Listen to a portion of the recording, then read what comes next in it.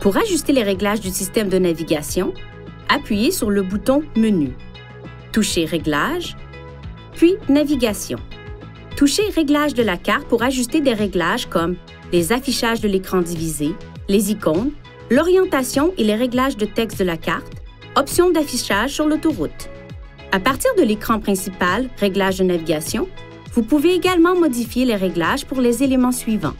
Les indications vocales, la façon dont les itinéraires sont calculés, les renseignements sur la circulation, l'indication des limites de vitesse, le système de navigation porte-à-porte, le carnet d'adresses et les points d'intérêt personnalisés, diverses autres options.